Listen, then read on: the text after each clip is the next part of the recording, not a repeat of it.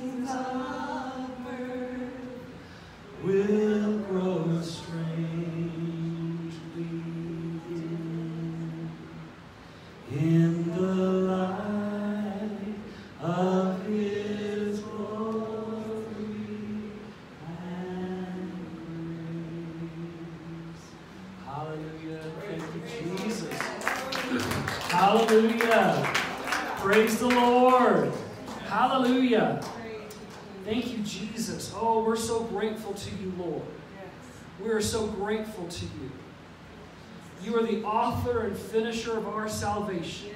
What you began to do in us, you will finish doing in us. You started a good work in us, you are faithful to finish it. Hallelujah. He's faithful to finish it. What he starts in you, he's faithful to finish. Why do I know he's faithful to finish? Because the Word of God says he is. And I know my Father, and I know his nature is that he's faithful. When he says he's going to do something, he's going to do it. It doesn't matter what it looks like right now. Can I tell you? Lots of things you can look at right now are distracting you from what God is doing. Do not be distracted by natural things. You might say, well, this happened and that happened. I don't care what happened in the natural. Do you know who's working in the natural is the devil and his crew? But God is working on your behalf. And He is doing things and accomplishing things and working things. If you'll have faith to continue and be steadfast, He'll raise you up out of the deathbed too. Praise God, praise God, praise God. Hallelujah, praise God. Oh, I'm so thankful for you. I'm so thankful for you, Jesus. Oh, we glorify and magnify you this morning. Oh, you said if your name be lifted up, you will draw all men unto you. So we lift up your name this morning. We lift up the name of Jesus. And we thank you, Lord, that you are working on our behalf, that you're doing things on our behalf. Hallelujah. Oh, to bring glory to the name of Jesus. Amen. Hallelujah. Oh, it's so good to bring glory to the name of Jesus. You need to give him glory all the time.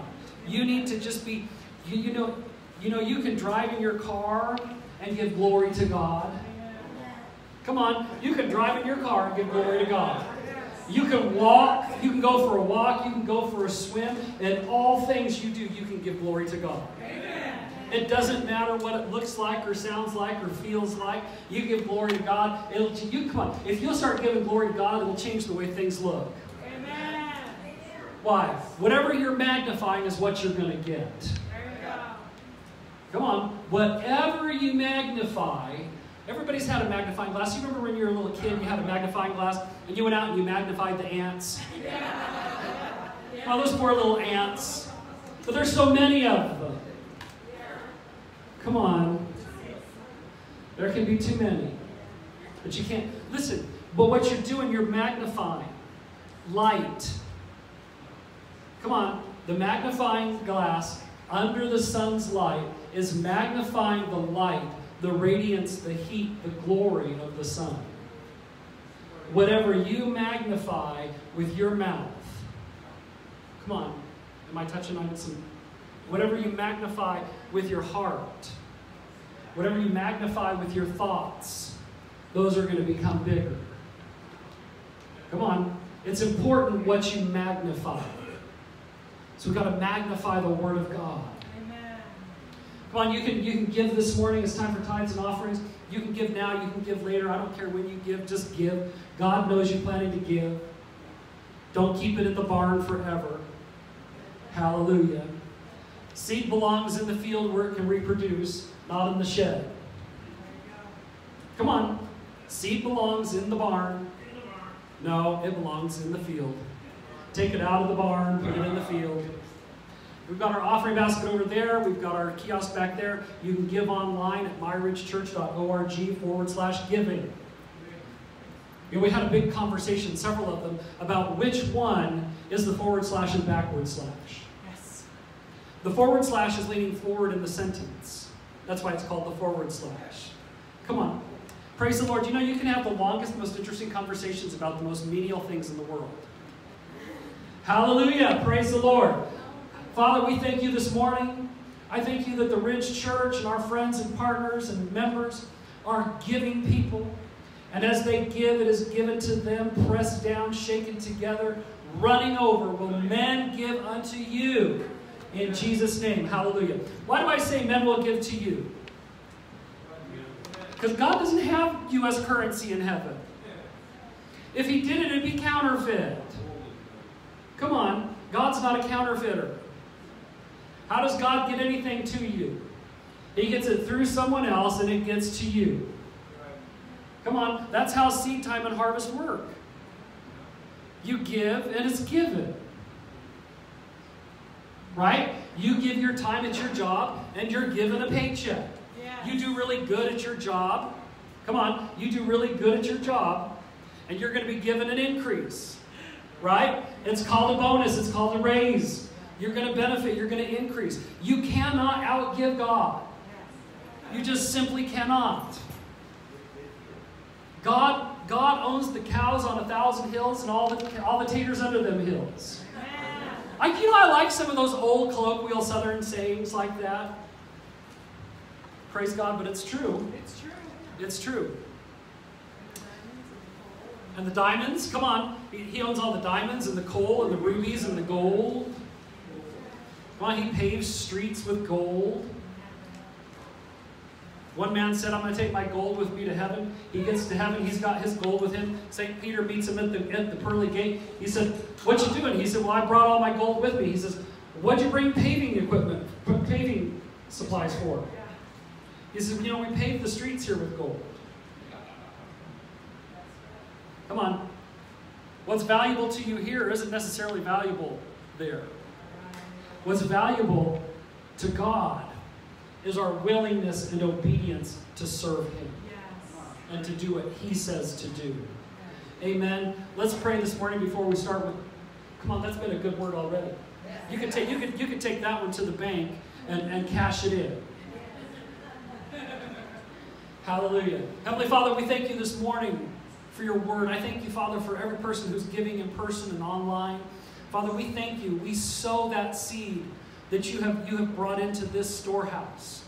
And we spread it for the kingdom's value, for the kingdom. And we thank you, Father, that you are causing us to increase and to do better and to be better and to be better next year than we were this year. Thank you, Father, we're not dependent on world systems, we're dependent on the kingdom of heaven. Hallelujah. You are our source, and we love you. And we thank you, Father, here in this church, we receive the tithes, but there we know you receive them. Yes. Hallelujah. We thank you, Father, for prospering us and blessing us and increasing us in every way. In Jesus' name. Amen. Come on, if you out there, if you'll just believe that too. Come on, all you've got to do is believe it and receive it and act like it's true. Amen. Believe it, receive it, act like. That's how you got saved, isn't it? Yes. I mean, how, how, how, how many of you actually, when you got saved, had a big cry out experience and it was just, it was, you were, a, you were a, an, an ugly mess at the end? And how many of you just, you just, it just seems like you made a decision.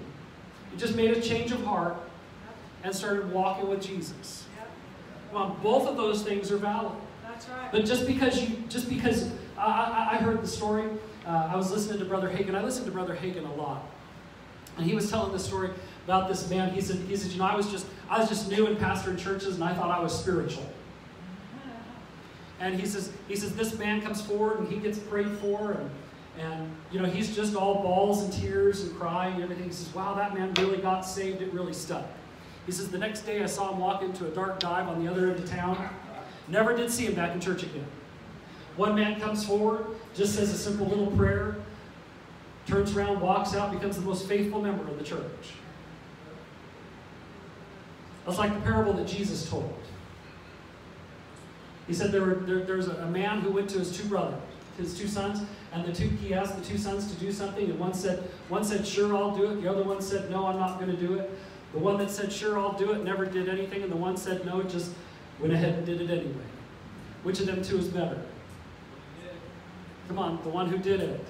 You know it's better to say yes and mean it and do it. I was talking with Kathy about that this week. It's better to say yes, mean it, and do it. Amen? Praise the Lord. Come on, I'm happy. I'm excited today. Oh, we're going to talk about salvation. Like, salvation. How long can you talk about salvation? Oh, we could talk about salvation a whole long time. Why? Because salvation is more, listen, salvation, receiving the gift of, gift of salvation from your sins, from sin, is just the door opening to the things that God has for you. The gospel can be summed up in one word salvation. Someone said, okay, well, I guess that's it. We're done for today. No. Salvation means that you are forgiven from your sins, but what else does it mean? How does that even work? Let's look at couple, uh, one of the most famous passages in the Bible, John 3 16 and 17.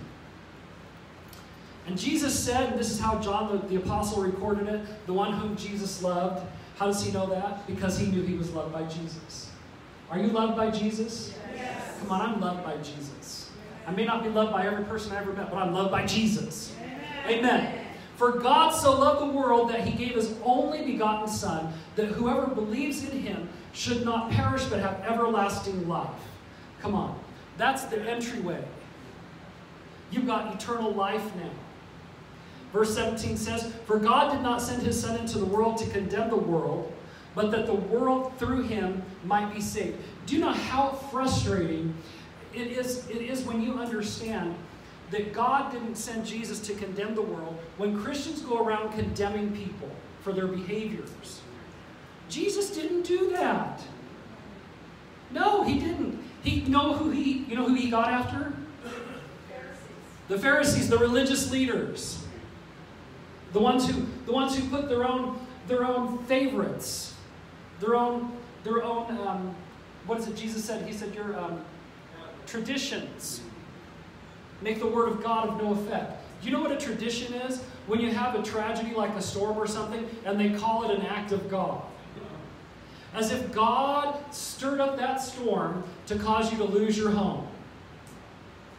God doesn't do that. Come on, if God's doing that and the devil's doing that, we got no hope. But Jesus came not to condemn the world, but that the world through him might be saved. What does that word saved mean? The Greek word used here in the New Testament is the word that is translated as, as sozo or soterio or sotheo. There's many different variations on it depending on the usage in the sentence. You know how we have like grammar. You know, there's there, there, and there, and which there do you put there?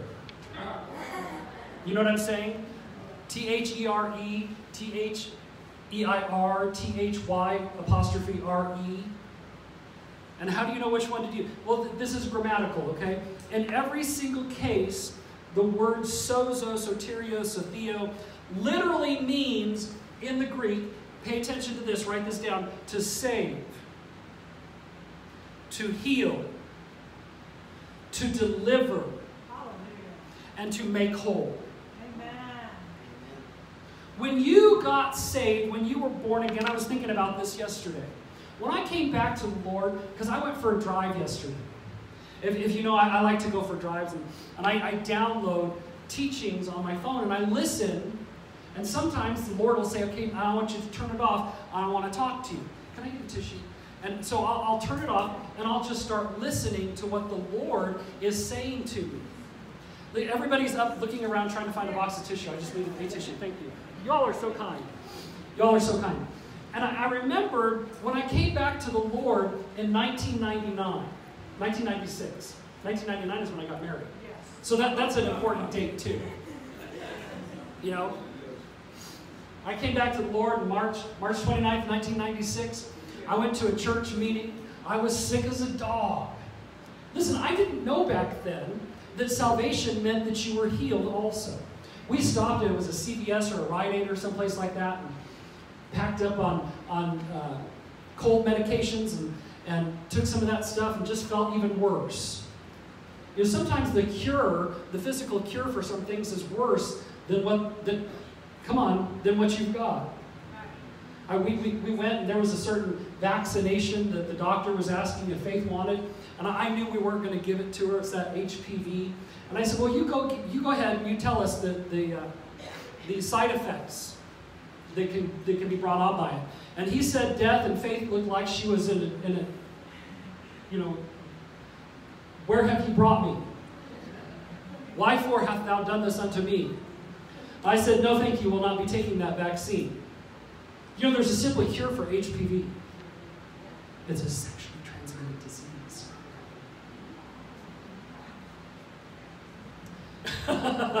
yes! Be celibate.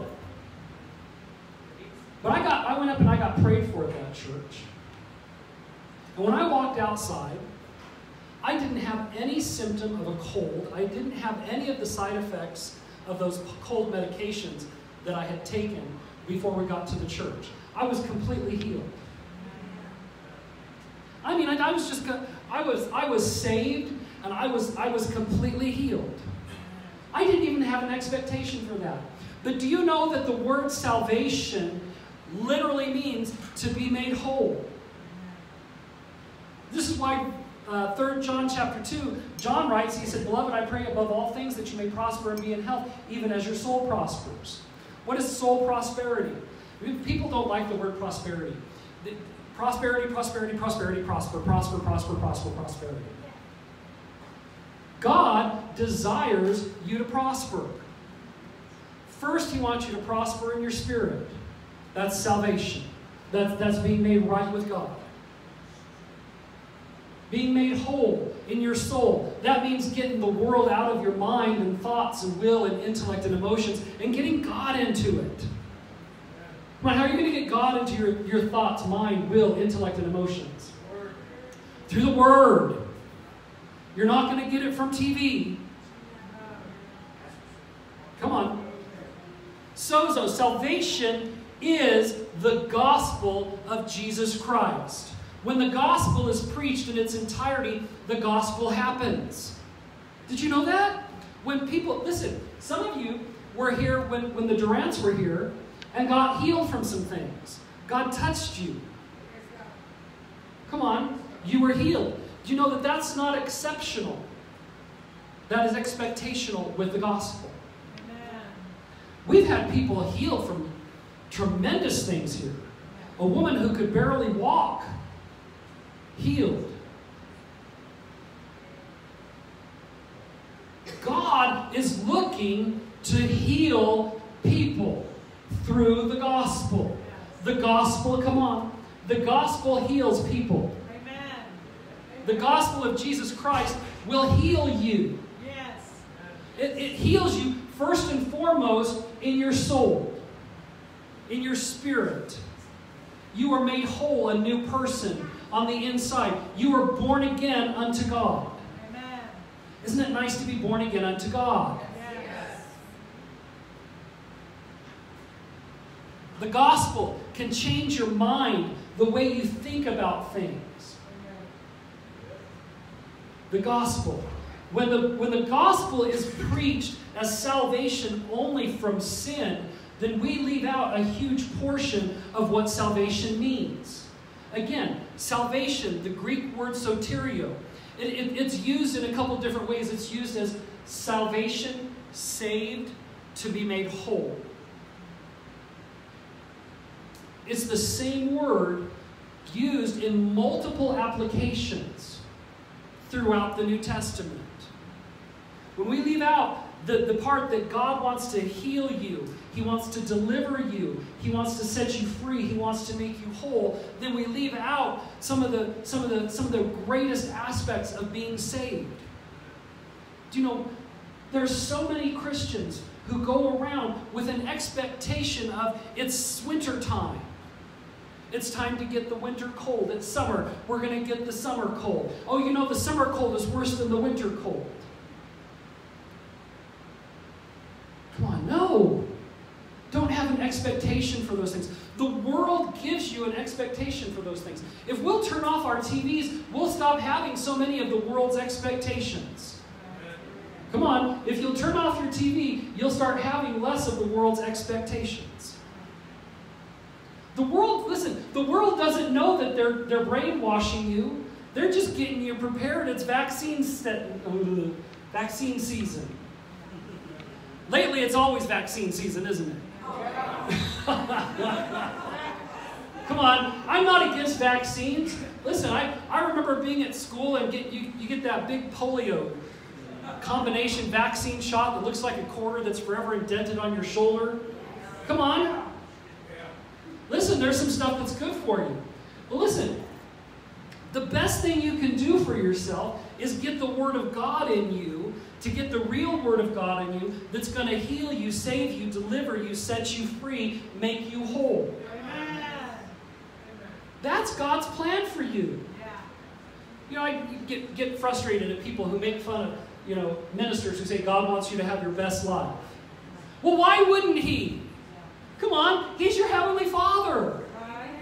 Jesus said, if you being wicked, speaking to his disciples, if you being wicked know how to give good gifts, how much more does your heavenly Father, Amen. who's in heaven, yes. want to give you good gifts? Yes. Does he want you to sleep well at night? Yes, yes he does. Does he want you to wake up with anxiety? No, he doesn't. That's why he continually tells us, fear not, take no thought, be anxious for nothing. God doesn't want us to have all those anxieties and fears and frustrations, so much so that we can't even sleep. Who wants you to be awake at night? Worrying, frustrated, waking up in a cold sweat, wondering how you're going to make it to the next paycheck. Well, the devil does. God doesn't want that for you. Well, my kids are having a hard time sleeping. I, we, we, we get them and we pray for them. We hold them, we hug them, we comfort them. What does God want to do? He wants to hold you, hug you, comfort you, help you fall back to sleep, reassure you that everything's going to be okay. That's right. Why? Because He loves you. That's right. God loves you. Luke 8 48. Luke 8 48. I think we'll have that up on the screen eventually. Luke 8:48. We're going to look at some examples.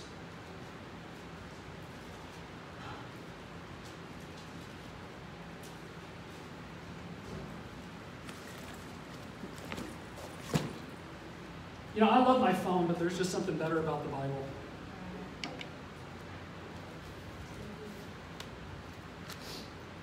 And I'm like you, I don't have it all pressed together.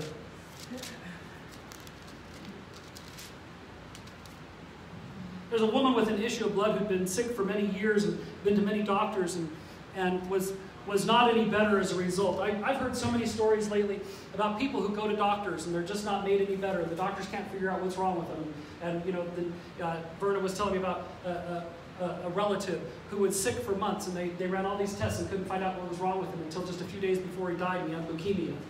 Listen, you can go to the doctors, and we should go to the doctors. Faith was born, she weighed 13 ounces. Come on, I'm not bringing home a 13 ounce baby. The doctor said, Well, you can't deny where she's at. I didn't say we denied where she's at. We just denied that she's going to have the problems that you say she's going to have. Amen. Amen.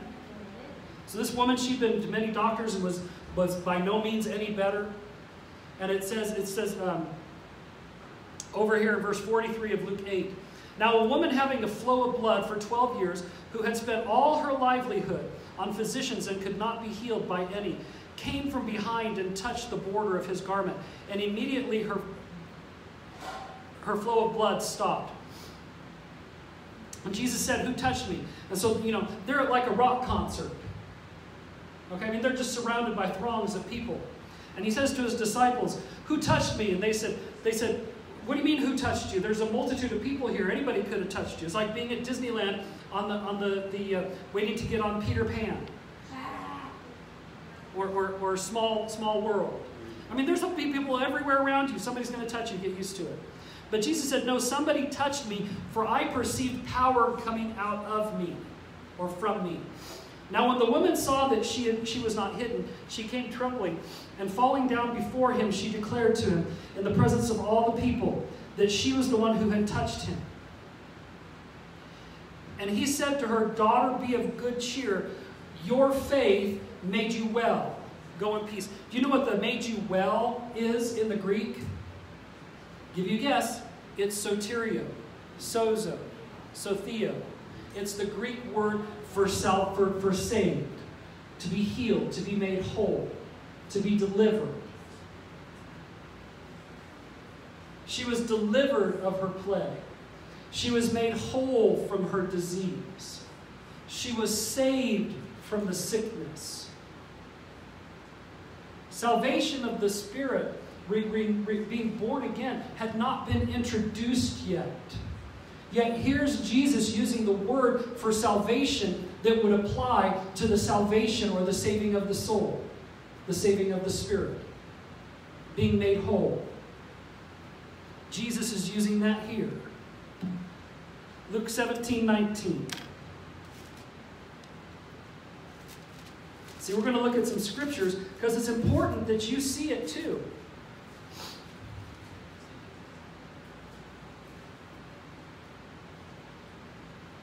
Now it happened, for, starting in verse 11, in, in, chapter 17, as he went to Jerusalem, that he passed through the, the, the midst of Samaria and Galilee. Then, as he entered a certain village, there met him ten men who were lepers, who stood afar off. Because if you were a leper, you had to stand a far way off. And we're not talking like the six foot to keep you safe. You, know, you got to stand off a lot further than that. And they lifted up their voices and said, Jesus, Master, have mercy on us. So when he saw them, he said to them, Go show yourselves to the priests. And so it was that they went, that as they went, hear, hear me, that as they went, they were cleansed. As they went, they were cleansed.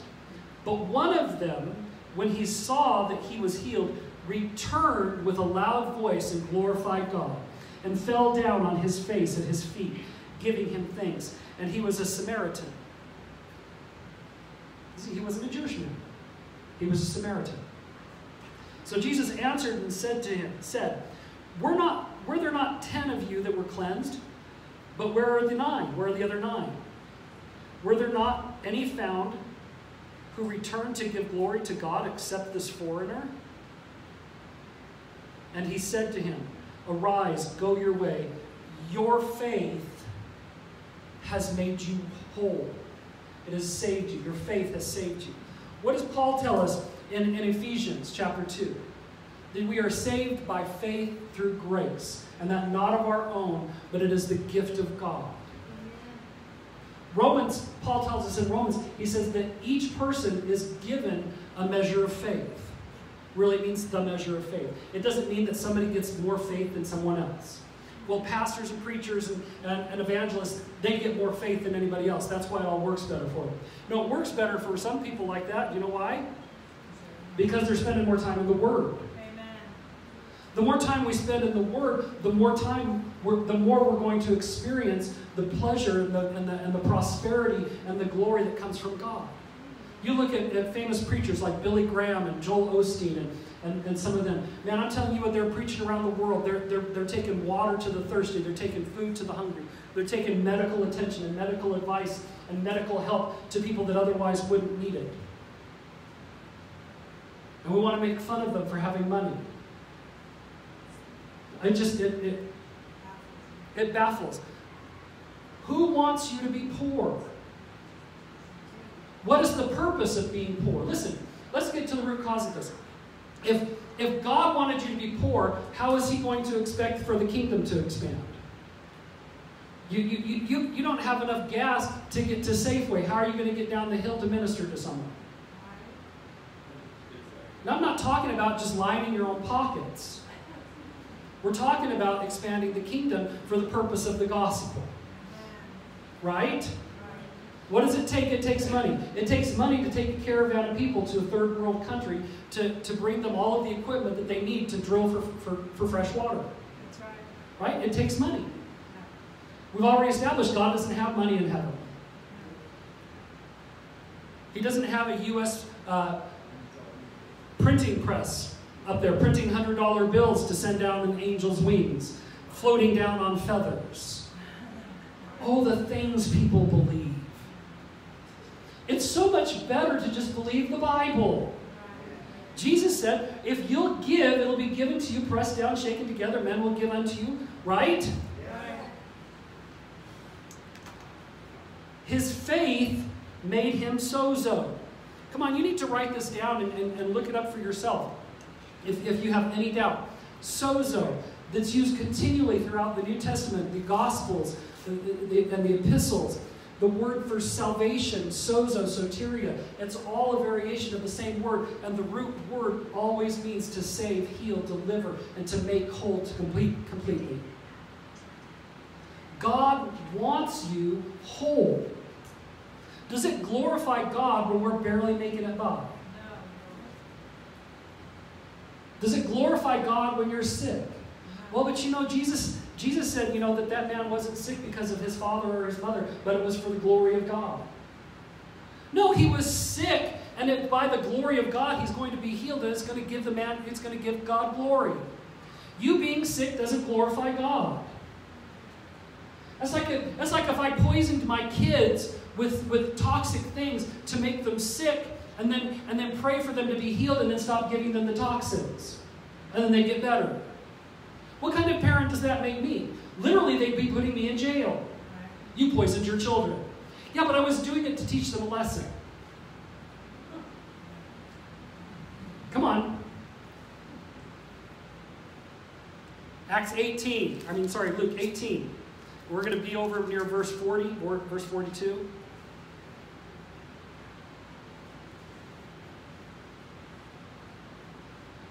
Start in verse 35. Luke 18, verse 35. Then it happened as he was coming near Jericho, and a certain blind man sat down on the road begging, and hearing the multitude pass by, he asked what it meant. So, he, so, they, so they told him that Jesus of Nazareth was passing by. And he cried out, saying, Jesus, son of David, have mercy on me. Then those who went before him warned him that he should be quiet. Come on. You got to be quiet. It's church. You don't want to get loud. It's church. Listen, it's only recorded in heaven that there's 30, 30 minutes of quiet the entire time. The rest of the time, the angels are flying around the throne of God, shouting out, Glory, glory, hallelujah. Come on. Give yourself a shout of glory. Give out a glory shout. Hallelujah. Then those who went out before him told him to be quiet. But he cried out all the more, Son of David, have mercy on me. So Jesus stood still and commanded him to be brought to him. What happened? His faith was drawing the attention of Jesus. And when he came near, he asked, saying, What do you want from me? What do you want me to do for you? He, the, the blind man said to the Lord, That I may receive my sight. And Jesus said to him, Receive your sight. Your faith has made you saved, whole, delivered.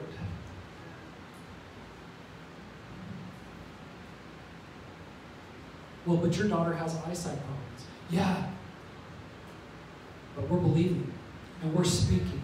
And we're going to get the same result that by our faith, she was made whole. Come on. By your faith, listen. Your faith is what Jesus said to every one of these individuals your faith, your belief. Your belief. See, every single one of these people, this blind man called Jesus the Son of David. understanding that that meant that he was the Messiah, that he understood that Jesus was the Messiah. Where do you think he got that idea? Because he heard. The woman with the issue of blood, it said, when she had heard about Jesus, she came up in the press behind him and touched him from behind. When she had heard, what did she hear? She heard that if you could, if you could touch Jesus, if you could, if you could get near Jesus, you're going to get healed.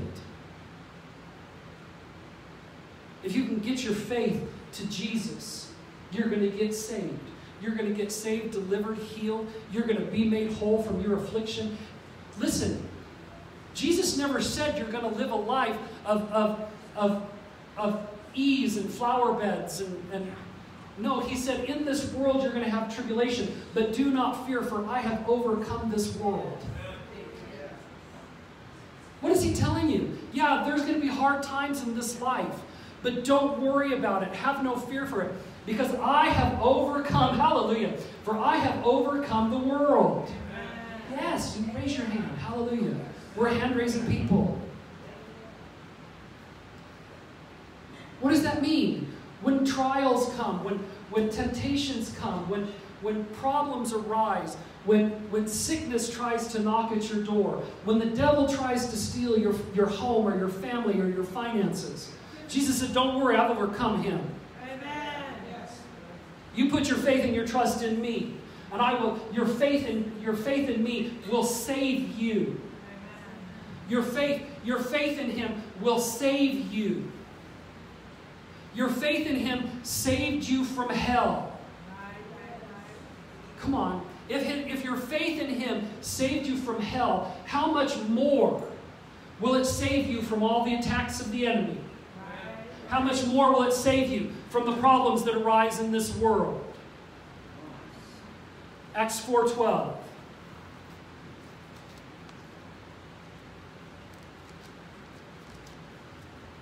You know, I had a completely different message this morning that I put together last night. And I was in the shower this morning, and the Lord said, Now I want you to do this. I want you to get all these scriptures about salvation. And I said, Okay. And I went to my office this morning, and because there's no air conditioning on, in my office, it was hot. And someone said, why are you wearing a jacket? Well, because I've got air conditioning out here. I can't just wear a t shirt to church. I suppose I could. I've done it. And it was too hot. So I went into Verna's office. And I because it was cooler in there. And I, I'm, I'm, I'm gathering all these scriptures and, and, and putting everything down. Listen, Jesus, and I, I, I battle on this back and forth, but this is the scripture. Ephesians chapter 4 Paul writes that, that Jesus ascended on high and sent gifts the apostle, the prophet, the evangelist, the pastor, and teacher. Now, some would say that the pastor and the teacher are the same gift.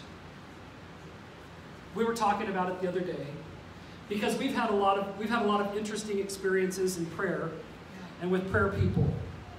And some people think that the, the prayer person is a ministry gift. It's not prayer, the prayer lady, I, I love what Dana, I think Dana said this. She said, prayer ladies aren't a ministry gift. Our friend Dana Schrader. The prayer lady isn't a ministry gift. The pastor, apostle, the pastor, apostle, prophet, evangelist, and teacher are ministry gifts. So when we come to church, I expect as a ministry gift, as, as Faith was saying, the pastor, the, the pastor is the microphone of God. Come on. Now listen, not every pastor is called to be a pastor.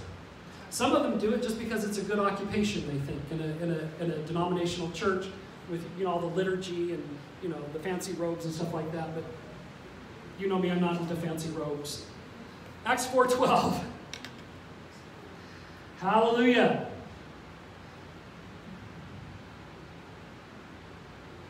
Nor is there nor is there salvation in any other.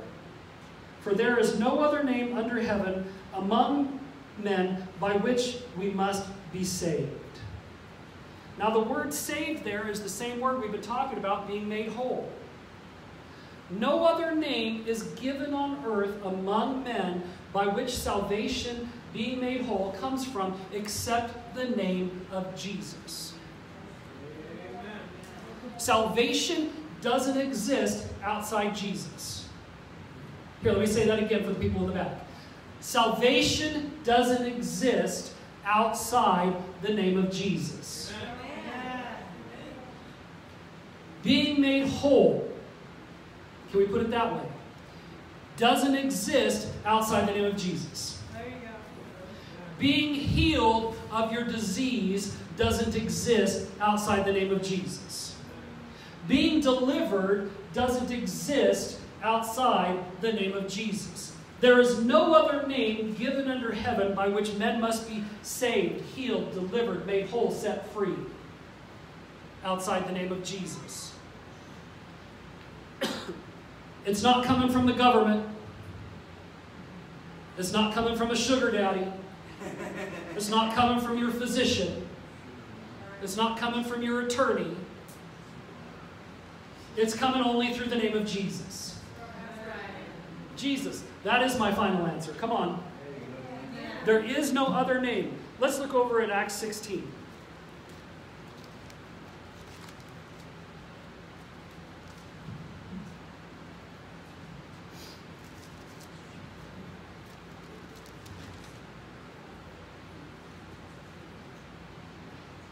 So Paul and Silas are in prison. They've been preaching. Imagine that a preacher being in jail. Oh, my goodness. What will happen to the church? The pastor got put in jail for preaching. Come on. Lots of pastors over the last year were put in jail for preaching. They still are in Canada, it's just getting worse up there. I mean, they burned down one pastor's house, they burned down churches. For what? For preaching Jesus. Well, you don't understand COVID. 99.8% survival rate. I'm not making fun. I know people who've died from it. That's right. I know people who had a hard time recovering from it. Yep. Listen, I mean, even my father in law had a hard time recovering from it. My very good friends, Scott and Teresa, had a very hard time. They had it. But I know other people that had it, and it's just like a cold. I'm not making light. But they're in, they're in prison for preaching the gospel. No, right? I love that. She's like, no, don't put them in prison. They're in prison for preaching the gospel. I don't know, but I just love children. We're not having any more, but I just love children. Paul and Silas are in prison. And, and, and, and, and you can read this, and it, it says, it says, But at midnight, Paul and Silas were praying and singing hymns to God. Singing and praying and singing hymns to God in prison. Come on, in prison, I'd be like, uh, all right, Jesus, I don't know. No! I was just preaching the gospel. I don't know what happened. They said, don't ever do it. I guess I won't do it anymore. No! They were singing and praying, and singing hymns to God. And the prisoners were listening to them. Suddenly there was a great earthquake,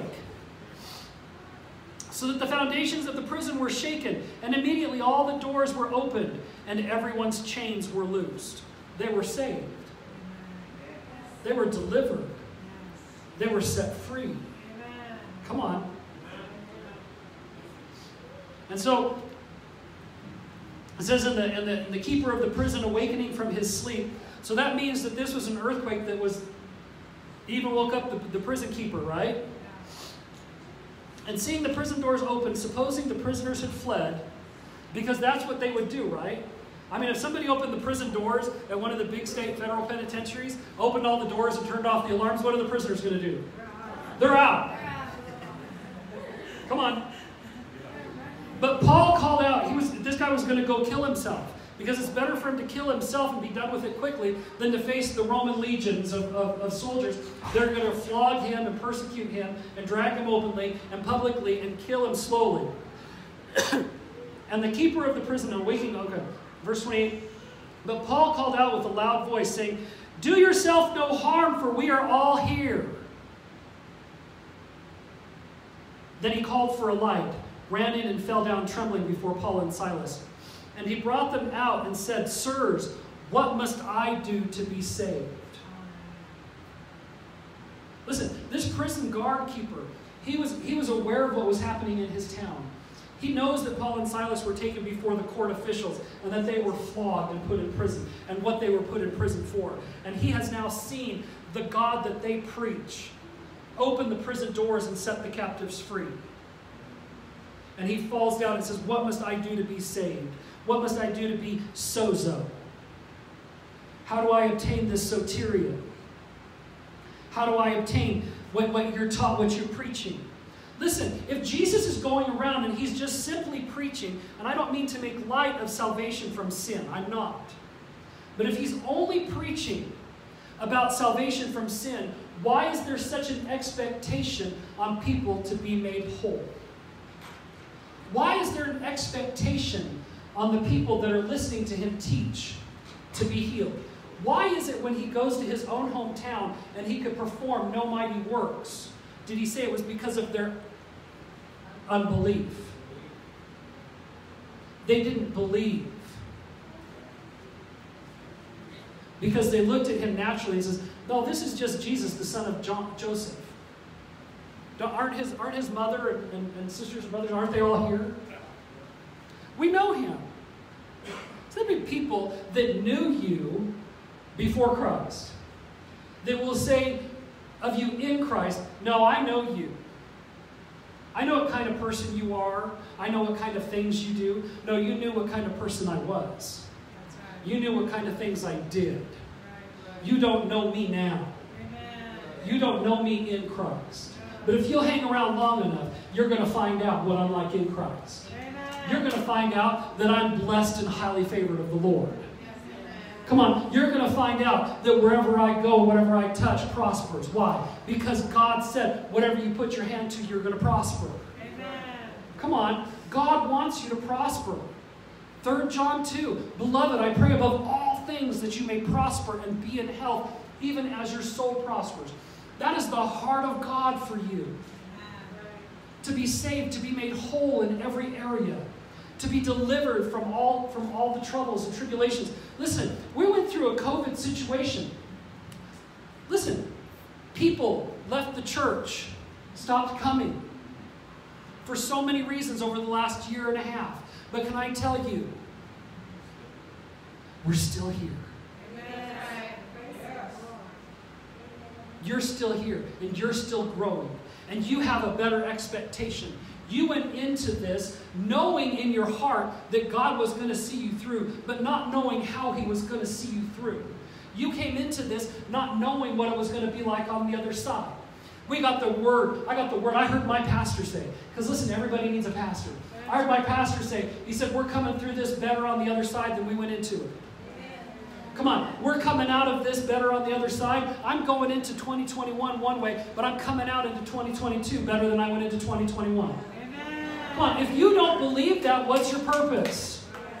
You can believe that your job will get better. You can believe that your finances will get better. But if you believe that God's going to help you, come on. If you believe that God's going to help you to do better, if you believe that God wants to prosper you, if you believe that God wants to heal you, if you, come on. I remember I, I've used this before. God told us we are going to have a son, name him Josiah. And so we, we, we, we just all the time, we'd say, well, God told us we're having a son. We're going to name him Josiah. Hallelujah. And then I'd turn around and I'd say, well, it just takes us a long time to get pregnant. It's hard for us to get pregnant. But we're going to have that son, name him Josiah. And the Lord said to me, come on, I don't mean in an audible voice, like he called me on the phone. Here's the problem. If you call me on the phone, I'm probably going to let it go to voicemail. And if you leave a voicemail and tell me that you need to talk to me about something important, I will call you back. Jesus knows that about me. No. He said, I sat down. He said, Come over here, sit down. I want to talk to you. On, if you ever never had Jesus tell you that he wants you to come over and sit down so he can talk to you, then you, you're busy doing all the talking and not doing any listening. He said, he said, Your words have been stout against me. What does that mean? It means they've been hard, abrasive. I said, Well, what do you mean? He said, Well, you keep, you keep saying what I told you. You're going to have a son, name him Josiah. But then you also keep saying it's hard for us to get pregnant. It takes us a long time to get pregnant.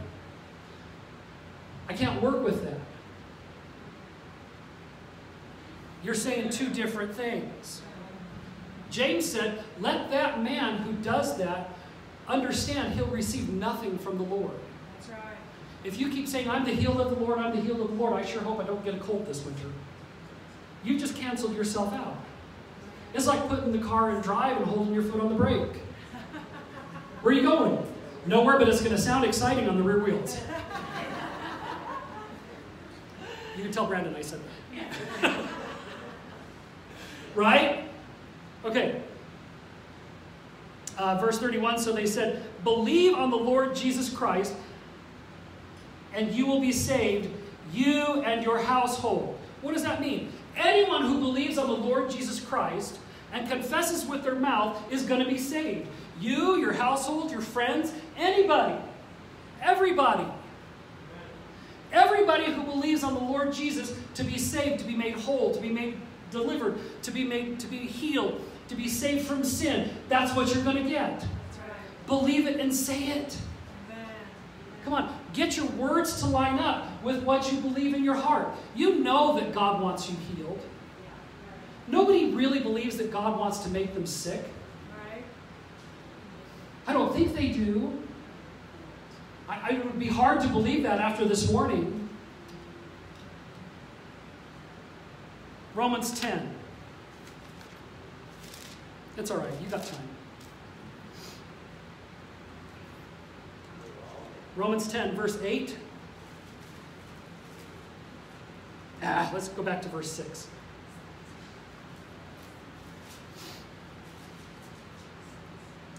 Verse 6 But the righteousness of faith speaks this way.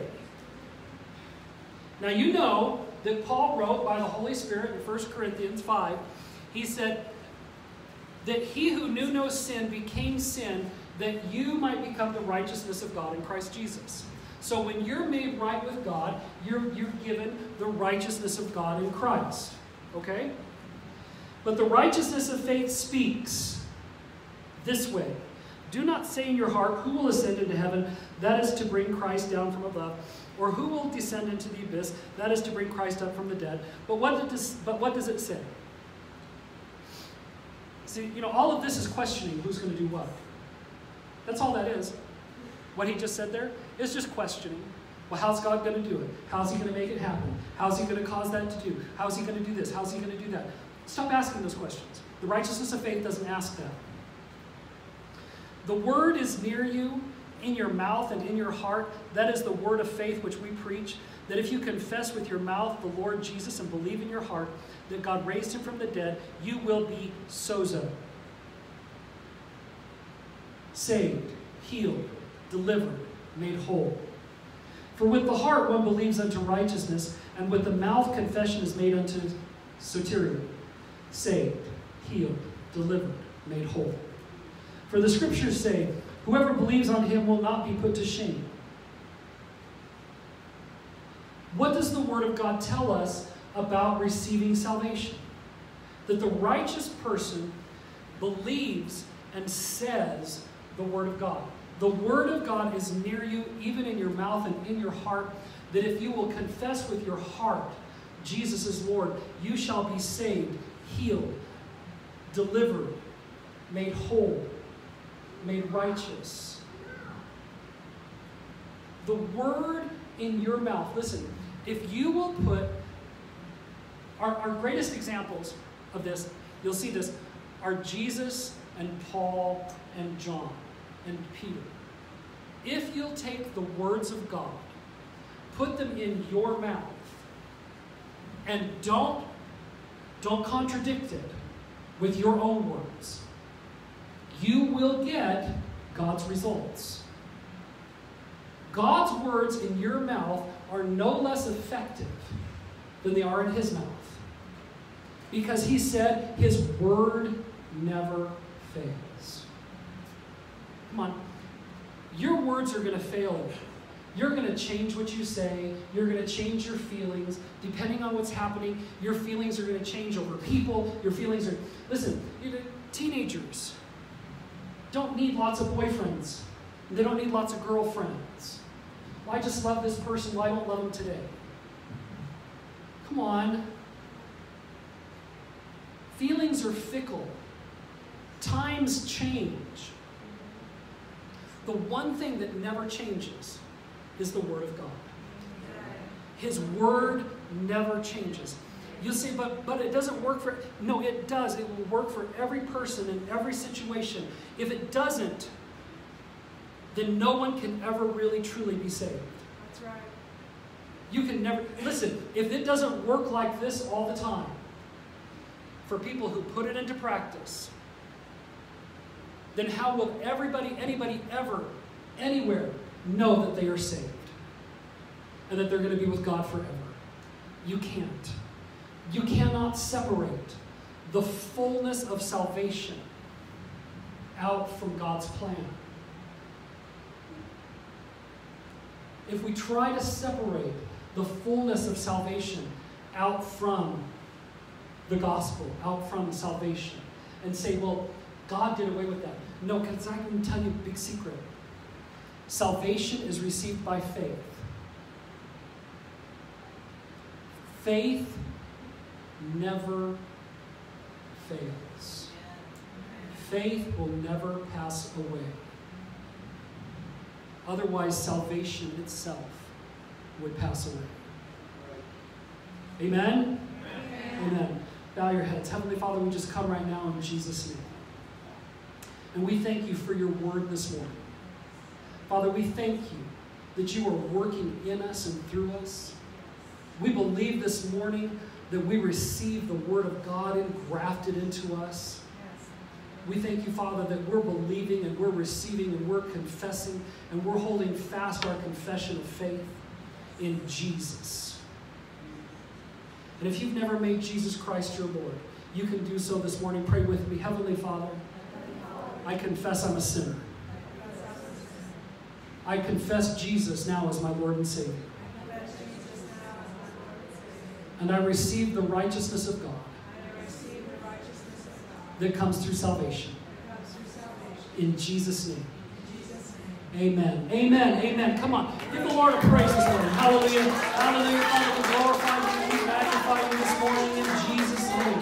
Hallelujah. Praise you, Jesus. Hallelujah. Let me just turn this off real quick.